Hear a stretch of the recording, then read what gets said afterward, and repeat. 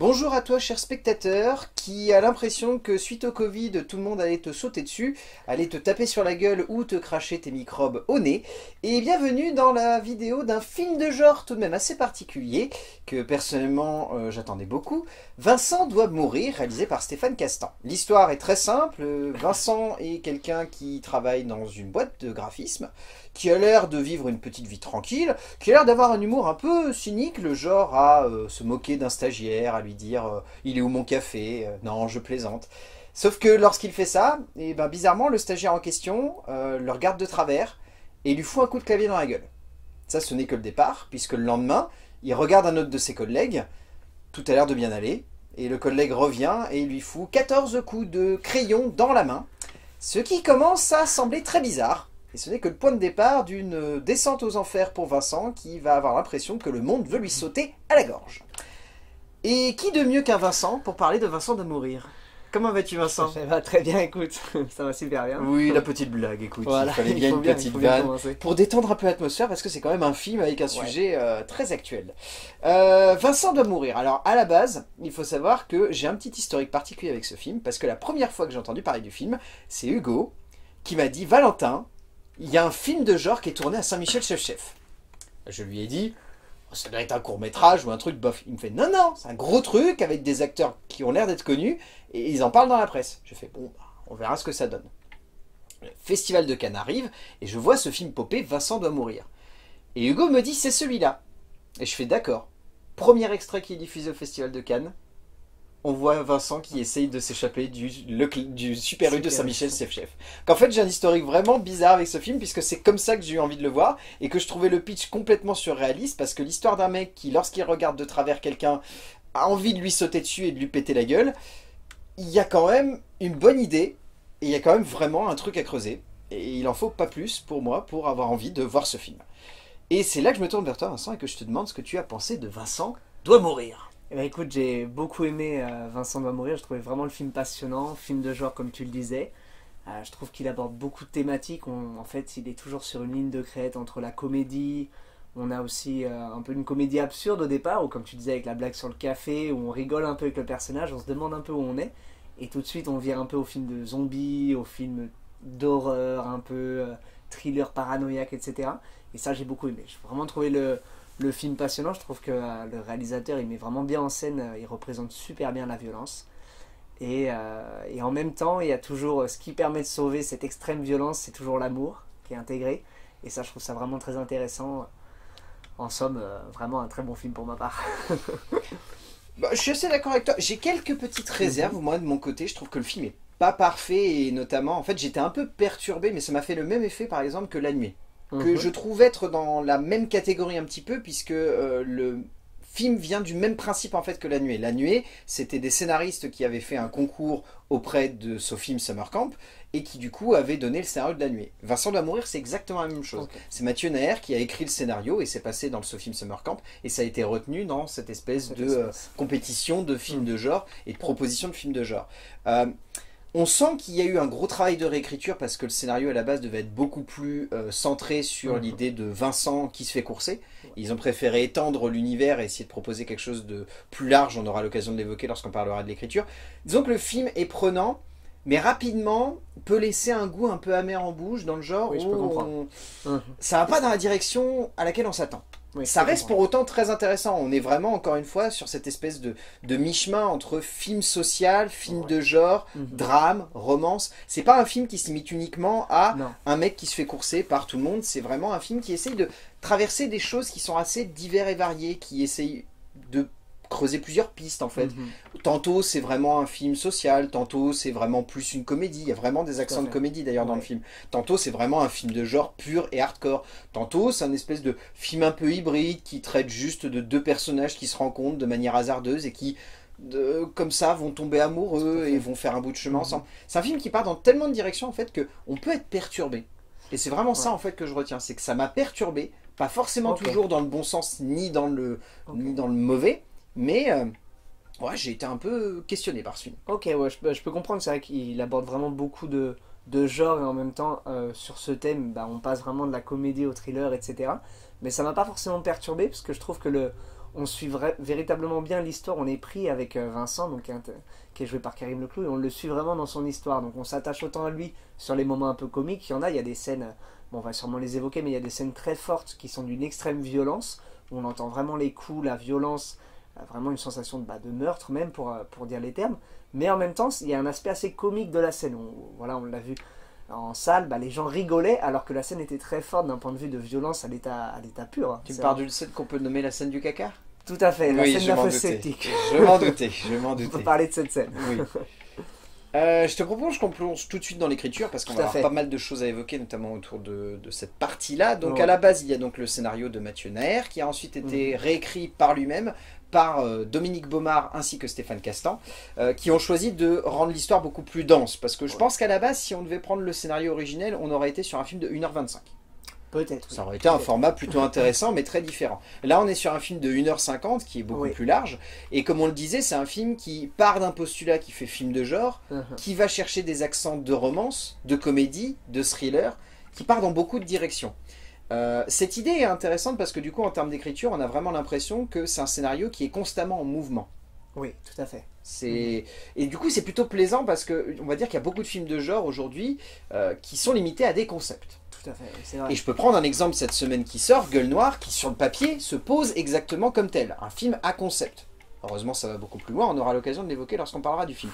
Mais, ici, ce qui est intéressant, c'est que à aucun moment, en fait, le film ne se limite à son idée de base. Il cherche à aller toujours plus loin. À dire, certes, c'est intéressant un mec qui se fait courser par tout le monde, mais ça ne suffit pas à tenir un film. Il faut amener un contexte familial, il faut amener un contexte dramatique, il faut faire en sorte que le personnage se déplace, aille ailleurs. Essaye de voir un petit peu comment le monde vit, comment cette violence mhm. est née et surtout pourquoi elle le touche lui.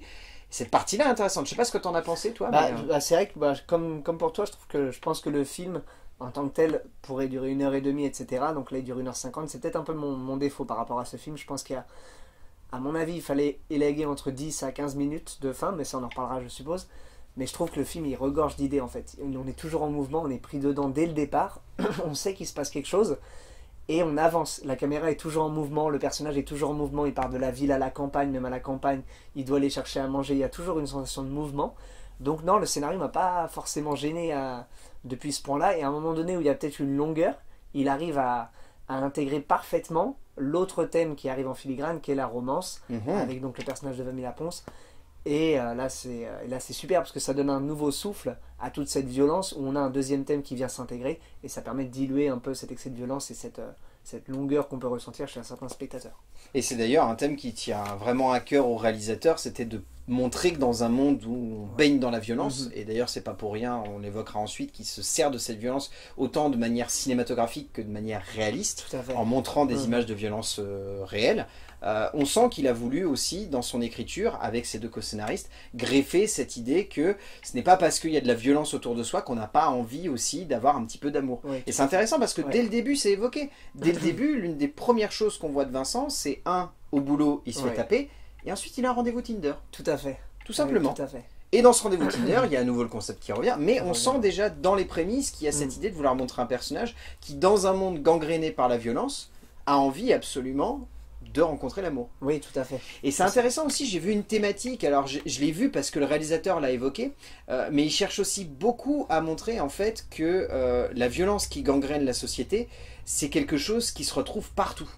Pas uniquement chez soi, pas uniquement en regardant la télé, pas uniquement en étant sur les réseaux sociaux, mais vraiment partout. Partout, partout, partout.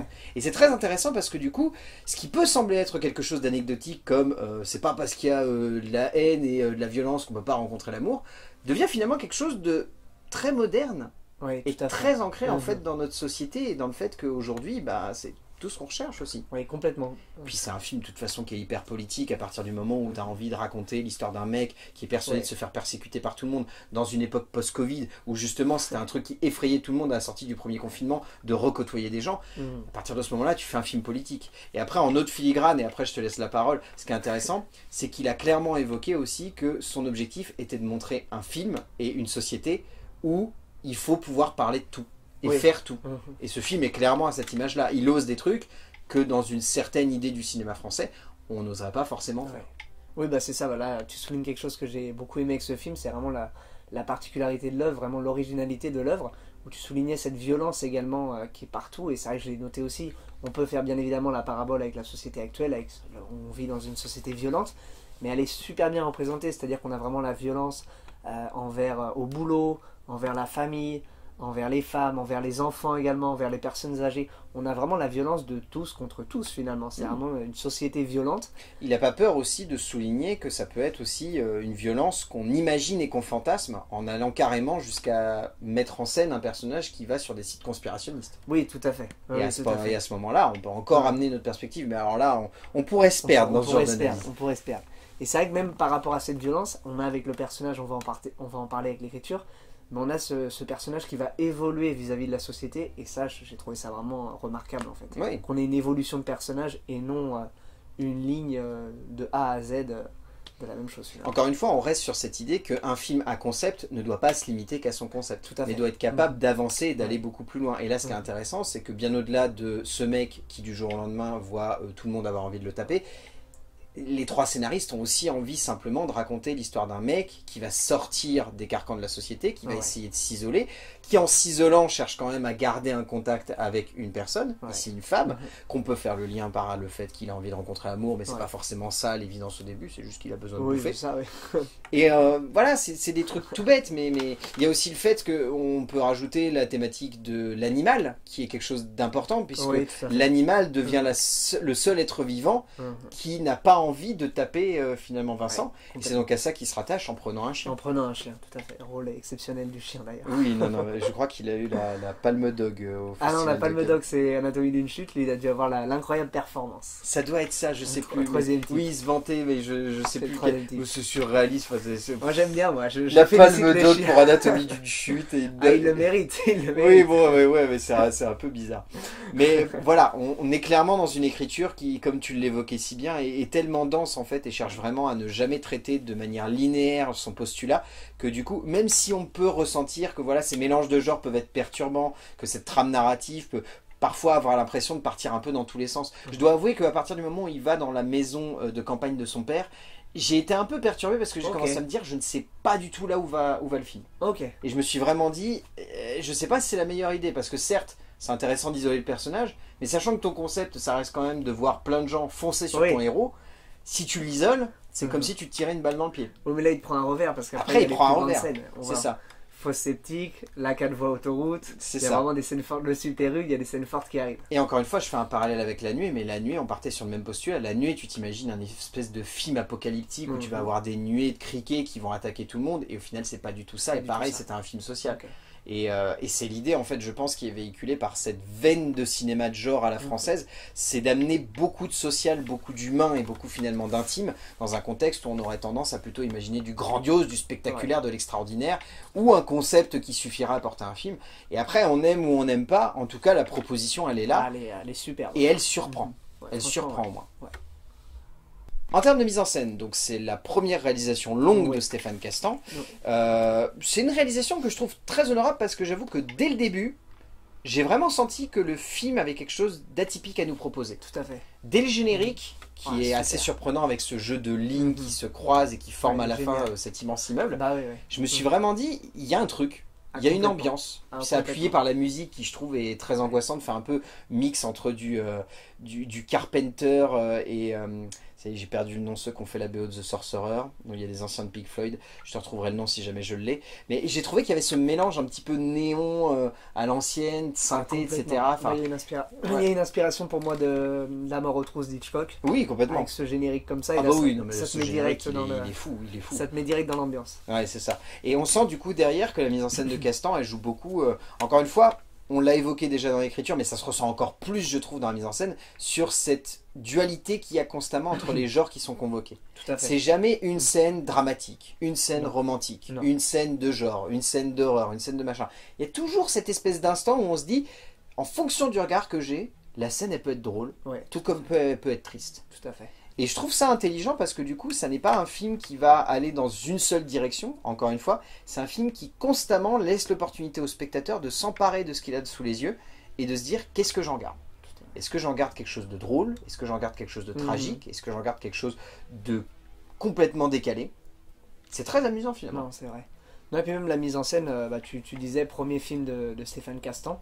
On voit que bon, il a, il a sûrement eu des moyens assez modestes pour faire un premier film, mais il n'empêche, il arrive à faire des plans euh, assez impressionnants. Il y a un travail sur la lumière, il y a un travail sur le son. Donc, je retiens trois scènes en particulier qui m'ont beaucoup plu, mais euh, la scène de la fosse septique, je la trouve vraiment très bien filmée. On a une ambiance qui est superbe entre la comédie et en même temps la violence qui est vraiment là. Donc on a vraiment euh, ce mélange qui fonctionne super bien. Mais il y a la scène de la 4 voies autoroute qui est, superbe.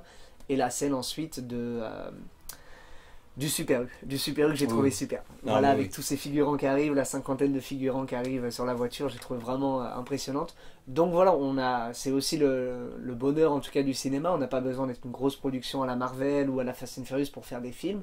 Et là, on voit qu'avec un, un premier film euh, des moyens limités, on arrive à faire quand même un, un film passionnant. Voilà, je trouve que le film est vraiment passionnant. En fait, c'est ça qui est bien, c'est qu'on sent qu'il y a, il y a une vraie envie de la part du cinéma de genre français, Ouais. et je trouve beaucoup du cinéma de genre proposé par euh, Capricci, par The Jokers, de vouloir emmener une vague de cinéastes qui n'ont pas uniquement envie de poser des concepts, qui n'ont pas Mhm. uniquement envie de jouer avec une seule facette possible du cinéma de genre, mais qui ont envie d'étendre les possibilités de celui-ci et de se dire, bah, par exemple, tu vois, la scène du Super U, on est dans le tragicomique. Ah, c'est une scène qui fait rire au début parce qu'on Ah se oui. dit qui c'est ce con, pourquoi il, pourquoi il fait ça? Bah, Je sais bien qu'il qu'il- s'il regarde les gens, euh, ils vont tout de suite lui sauter dessus, mais là il a l'air complètement débile à vouloir convaincre sa copine de, de, de ça. Il y a cette scène euh, qu'on peut appeler la scène du money shot sur la 4 voies qui clairement là c'est coup de figurant, on en met euh, Ouais. des centaines et tout le monde se saute dessus, tout le monde se tape, tout le monde s'éclate la gueule, qui est vraiment angoissante et qui Ouais, fonctionne du feu de Dieu. Et cette scène de la fosse sceptique qui elle pour le coup a clairement des accents de comédie. Ah oui, bah, Là, c'est vraiment oui. du burlesque et du, Au et du- départ, oui. et du déjanté. Enfin, il suffit de voir. J'ai toujours en tête ce moment où la scène débute. Elle est à mourir de rire parce que le facteur vient pour filer un truc à ça. Vincent. Vincent essaye d'éviter le regard. Un moment, il se retourne, il se regarde et il fait. Ah, Oh, non. merde. Et ça commence. Et ça commence. Et c'est très drôle. c'est c'est vraiment super drôle. C'est pas uniquement une scène où on va se dire c'est horrible, il se fait encore sauter dessus. C'est vraiment une scène où on super drôle, rigole. mais en même temps, il y a cette violence. On entend les, là, vraiment un travail de son. On Voilà, entend les ce que j'allais dire. Tu évoques très bien le, c'est le son. vraiment le, bah, une, une certaine violence brute, euh, mais en même temps, on rigole. Donc c'est vraiment très bien ficelé. Et puis c'est une violence qui est, qui, est, qui est très à fleur de peau, c'est une violence qui est très sensorielle finalement, parce que c'est une violence, comme tu l'évoquais au Mhm. début, il y a un gros travail sur le son, mais on Ah sent ouais. que c'est vraiment un travail sur, euh, sur comment faire ressentir au spectateur quelque chose de très dur, de très Oui. intense, de, Mhm. de très noir, et pourtant le faire avec assez d'organique pour que ça soit impactant et qu'on puisse en rigoler. Je pense à cette scène où ensuite où il va ouvrir le coffre de sa bagnole et où il va euh, taper le facteur, Mhm. on peut le dire. Et ben cette scène elle est, elle, elle est dure et en même temps elle est drôle parce qu'elle est forcée quoi. On sent que c'est Oui, genre euh, tu arrêtes, tu me fais chier ta gueule. Complètement, c'est complètement ça. et ça fonctionne vraiment bien. Et après même dans le relationnel des personnages, il y a un travail de juxtaposition de scènes qui sont vraiment drôles. Enfin, je pense à la première scène où euh, il va se retrouver face au personnage de Vima Laponce et que Mhm. il va, elle va le regarder et qu'elle va commencer à s'énerver et que du coup il va être obligé de l'assommer pour, euh, oui, pour s'en sortir. La scène qui en découle ensuite est, est vraiment de l'ordre de l'absurde. Parce qu'on sait forcément qu'il peut pas se permettre de la regarder droit dans les yeux, Ouais. etc. Mais on se dit pas qu'il va aller la ramener chez lui, qu'il va la calfeutrer dans sa chambre Mhm. et qu'il va euh, lui faire le speech en mode. euh, Et c'est très drôle parce que ça témoigne bien de ce qu'on peut avoir dans beaucoup de films de genre où tu sais, il y a toujours cette séquence, c'est genre je sais que j'ai un truc particulier, mais il faut Mhm. que j'arrive à le traduire aux autres, comment Oui, je fais, est-ce vrai. que je leur dis Mhm. et cette scène est très drôle parce qu'elle prend ces codes-là, mais elle les détourne. Parce que nous, en tant que spectateurs, on sait très bien que si elle ne le regarde pas, eh ben, il n'y a pas de raison qu'il se tape dessus. Ouais, mais elle, elle a peut-être juste l'impression Ah bah qu'elle oui. est face à un fou. Et c'est très drôle, justement, d'amener cette scène-là comme ça. Non, c'est vrai, tout à fait. Franchement, ouais, parfait. Sur la mise en scène, rien à ajouter pour ma part. Très bien. Eh bien, passons au casting, dans ce cas-là, mon cher. Euh, casting emmené donc par Karim Leclou et Vima Ouais. Laponce. Dans les rôles plus tertiaires, on va tout de suite en parler. On a François Château qui joue donc le père de Vincent. Très très bien.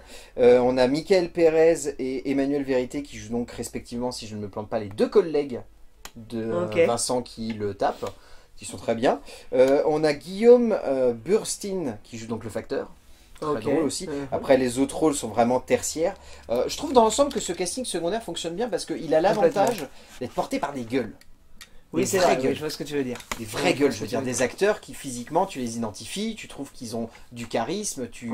Ils ont beau avoir qu'une seule scène. François Clément, par exemple, c'est une gueule de cinéma. Oui, je vois ce que tu Je veux veux dire, dire. c'est vraiment un acteur où Oui, dès le moment vrai. où il arrive à l'écran, tu fais putain ouais, il a la gueule d'un daron lui. Oui, c'est vrai. Et ça fonctionne vraiment bien. Non, ça fonctionne vraiment bien. Même le, le professeur d'université qui est devenu clochard entre temps, comme tu dis, il a une gueule. Quoi. Il arrive à l'écran, il commence à parler avec Vincent et tu sens qu'il y a une présence, même Ouais. après il l'a au téléphone, c'est c'est bien, c'est bien Il y, a, il y a quelque chose qui se passe, ouais, effectivement.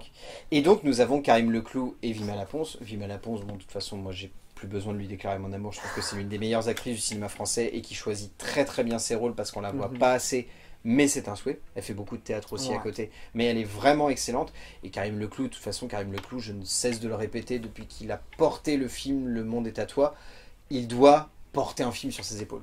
C'est un acteur extrêmement talentueux. Et cette année, il a eu la chance de porter deux films entièrement sur ses épaules. Vincent doit mourir et Goutte d'or en tout Et début d'année. ouais. Euh, bon, mais en tout cas, voilà, c'est un acteur qui démontre qu'il a un vrai talent, il a une vraie posture, il a un Ah vrai ouais. charisme, il a, il a un truc. Il a un Ouais, truc, ouais, cet a- acteur. bah, moi, je trouve les deux acteurs exceptionnels, hein, autant Vima Laponce que, que Karim Leclou. Karim Leclou, je me suis complètement identifié à lui. C'est-à-dire que dès le départ, avec cette petite blague sur le café qui est assez marrante, mais qui est pas non plus euh, dans le but d'humilier, mais une petite blague comme ça entre collègues.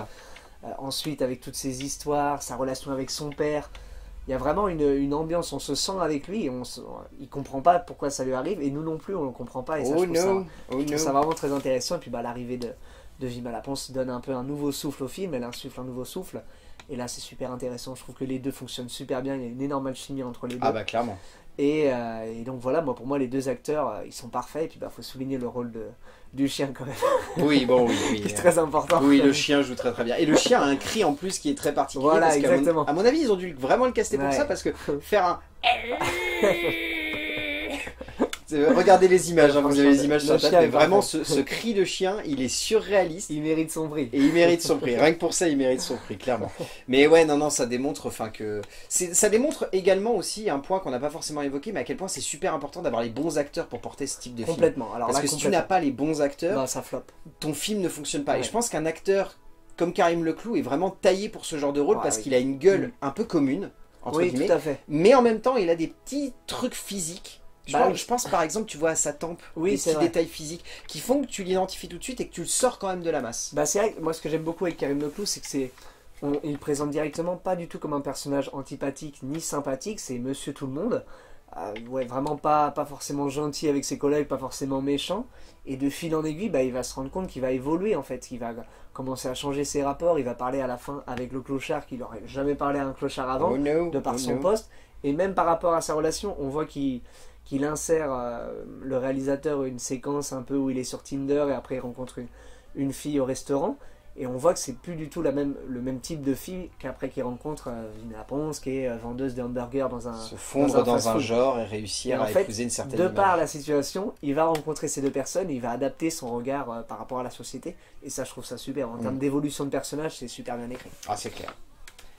On arrive à la fin de cette vidéo. Qu'est-ce que tu retiens de Vincent doit mourir? Et ben si je devais, euh, moi pour moi, euh, Vincent va mourir, je note sur 5, ce serait un 4 sur 5, c'est un très bon film. Je trouve le film vraiment passionnant, puisqu'il ouvre euh, toujours, en fait, il ouvre toujours ses portes du cinéma français, cinéma de genre qui est pas assez encore vu. Bon, cette année, il y a le règne animal, mais voilà, qui a été ouvert un peu avec ce succès de Grave, de Titane, etc. Et je trouve ça super qu'on ait des films comme ça dans le paysage français, qu'on aime ou qu'on n'aime pas, peu importe. Moi, il y a des films de cinéma de genre que j'aime pas, il y en a d'autres que j'aime beaucoup, mais je trouve ça très intéressant d'avoir ça. Je retiendrai vraiment la, la représentation de la violence qui est très bien filmée, si je devais retenir vraiment quelque chose. Et la scène de l'autoroute, de la scène de la fosse septique et du Super U, mes trois scènes, on va dire, euh, favorites du film. Et sinon, un point négatif, juste pour un peu euh, nuancer, je dirais qu'il faudrait peut-être élaguer allez, une dizaine de minutes du film, et peut-être la fin, que je trouve pas assez convaincante, un peu trop facile à mon goût, même si c'est pas le sujet, parce que voilà, on a, on a vu quelque chose avant, mais je la trouve un peu facile à mon goût. Je vois Donc ce que tu veux dire. Après, pour moi, vraiment, je vous conseille d'aller le voir, parce qu'il est vraiment très bien. Eh ben, je suis assez d'accord avec toi. Euh, je vais juste dire que au-delà des 10-15 minutes, euh, soyez avertis tout de même que c'est un film qui mélange beaucoup les genres et qui peut être un petit peu perturbant. C'est pas un film qui va vous emmener dans une direction un peu linéaire. C'est un film qui, au contraire, passe son temps un petit peu jonglé entre les possibilités que lui offre le pitch et son postulat. Donc vraiment, ayez ça en tête parce que sinon, vous risquez vraiment d'être très perturbé en fait par Vincent Damouret. Je dirais vraiment que ceux, par exemple, qui n'ont pas aimé euh, La Nuée, vous n'allez pas aimer Vincent doit mourir parce que c'est vraiment le même type de cinéma un peu social, un peu engagé, qui a envie de Mhm. parler de beaucoup de choses et qui a envie de, de se fondre dans plein de possibilités que le cinéma lui offre. Mais comme tu l'as dit, c'est iconoclaste, ça sort de l'ordinaire, c'est très bien joué, c'est une vraie proposition de mise en scène. Ouais, Il y a des vrais partis pris d'écriture qui sont audacieux, qui sont inventifs, qui Ouais. sont créatifs, qui ne se reposent jamais sur leurs acquis. Donc vraiment avec ça en tête, allez voir Vincent d'amoureux de Stéphane Castan. C'est une belle proposition de genre et ça Mhm. sort quand même bien du lot par rapport à ce qu'on a l'habitude de voir Ouais. au sein de notre cinéma. Il faut soutenir ce genre de proposition parce que si on les soutient pas, ben on n'en aura pas d'autres. On n'en aura pas d'autres, clairement pas. Merci mon cher Vincent d'avoir participé à cette petite Merci vidéo. toi, Je sais qu'on se retrouve très vite, Bien sûr. très très vite. Et d'ici là, on va dire aux gens d'aller voir des films parce que c'est bien d'aller voir des films et on se retrouvera pour parler de films, bien évidemment. A plus